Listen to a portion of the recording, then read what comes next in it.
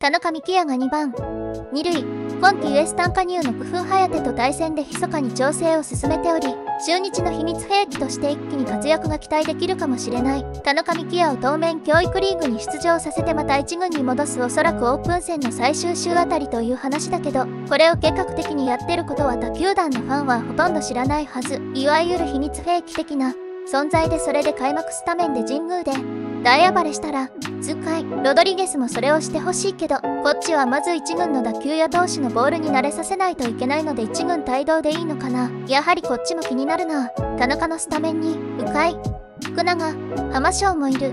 そしてネクスト岡林の脱吉樹。揃って1軍でデビューしてくれる日を今年は期待してます。石垣選手すっかり二遊間からは外されてしまって。ますね。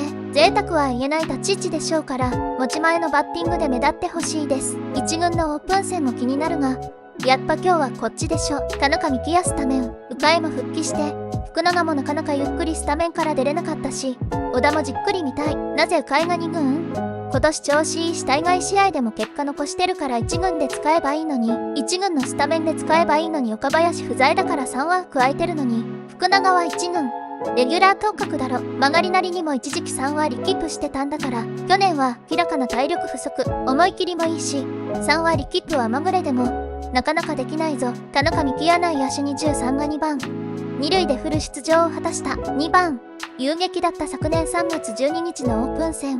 DNA 戦。横浜アイライトなる守備についてのフル出場だった一戦は2安打を放ち守備でも華麗なプレーを披露した時折小雪が舞うほど底冷えした名古屋球場で田中が躍動したまずは打撃2打席凡退で迎えた第3打席で高めの球を叩いた打球は詰まりながらも三塁線を破り快速を飛ばして二塁打としたさらに第4打席には追い込まれながらも直球を右前にしぶとく弾き返した。守備も8回に。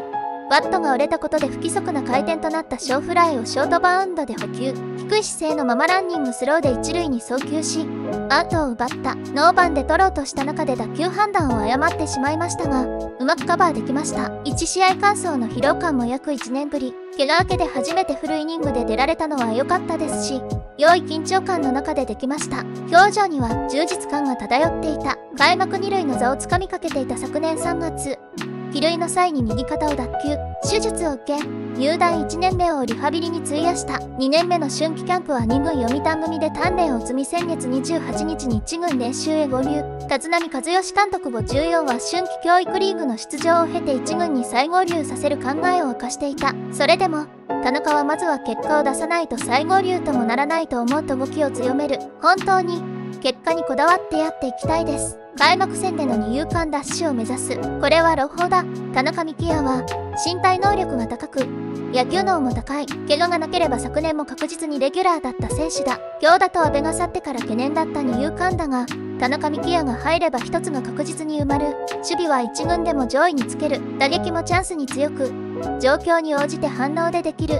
田中幹也ドラゴンズの救世主になってほしい。アジア大学から入団でしたね。昨季は開幕直前で怪我して1年を棒に振ったのですね。今季は復活して1軍定着を目指して貪欲に頑張ってください。レギュラー争いは熾烈に有緩和だけど頑張ってください。もともとの潜在能力は素晴らしいものを持っていると思います。再度怪我には気をつけてください。まずは2塁で村松選手と田中選手の同期入団同士でのちで先発野手を競いということですね。共に頑張ってほしいと思う。名古屋球場周辺は雪が待ってたのですか確かに寒かった。怪我には気をつけて。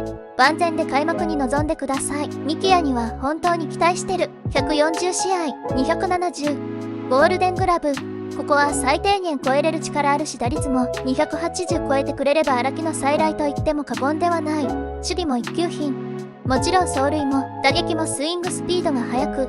ミート力がある。頼んだぞ。秋季キャンプでのフリーバッティングでも。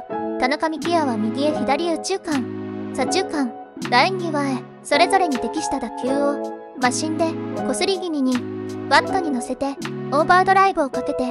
彼の中に何人の才能ある選手が入ってるのかと思うほど。ケースケースで。イメージ通りの打球を。スイングをリズムを生み出していってるように思う。ずっと見ていたくなる石川の定規で線を引いたようなどこまでもライナーで伸びる打球の音も驚く細川の案外と球を運ぶ上手さと振り切った時のオーバードライブでスタンドに軽々入れるパワー迂回の気持ちよく振った時の圧倒的な高い弾道のホームランそして今は安定感も増した。この4人衆はずっとフリーバッティングを見ていたくなる開花しつつある天才4人衆だと思うので。これから波はあるだろうが楽しみに見ていきつつ応援をがっちりしていきたい。去年1年はなかったも同然だから今年1年ファームで経験を積ませたいね。すぐ使いたくなるが下で1年じっくり鍛えて試合感や野球脳を呼び覚まして1年戦うスタミナをつけつつ技術的に飛躍してほしい。田中選手と村松選手はウサギと亀。能力の絶対値は田中選手の方がかなり上。プロでの経験値は村松選手が先行していて成長もしている。見たいのは田中選手。村松選手も応援したい。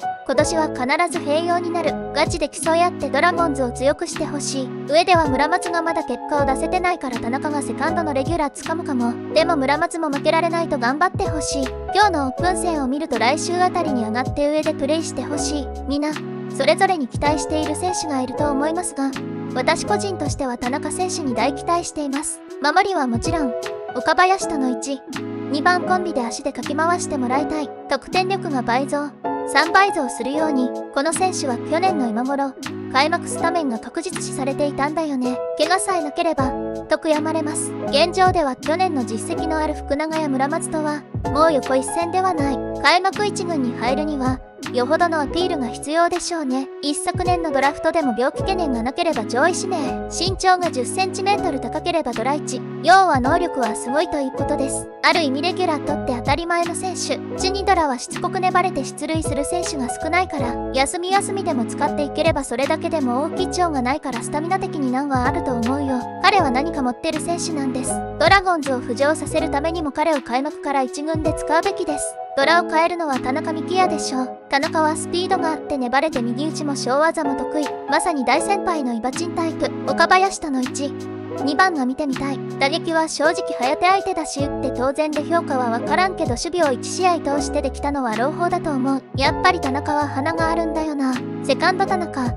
ショートロドリゲス大村松って感じになるのかな福永の打力も捨てがたいんだけど2番でバントなんかをさせるのなら打てない選手で良いと思う。岡林並みの打力があるなら9番ぐらいを打たせてみたら良い。2番セカンドミキヤでスタメンみたい。早く応援歌作るか。井端の応援歌を使ってほしい。今日ドラゴンズは1軍も2軍も試合があった。スタメンを眺めると1軍。